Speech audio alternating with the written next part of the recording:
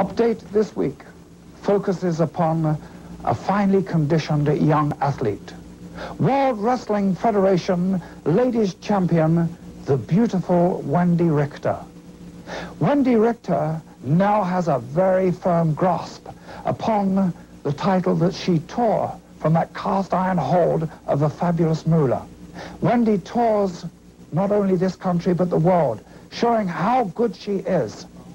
She is capable of beating anybody. Let us see how she accomplished the task of taking the title from Moolah. In front of a capacity crowd. One, two,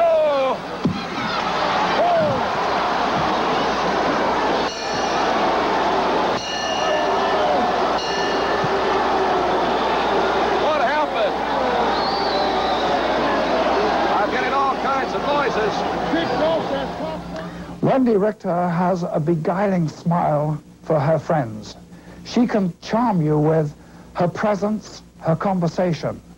But woe betide those ladies who step into the ring to oppose her.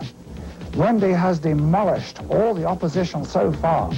So what can we look forward to? Maybe another long reign of a ladies champion? We'll see more of Wendi in the future.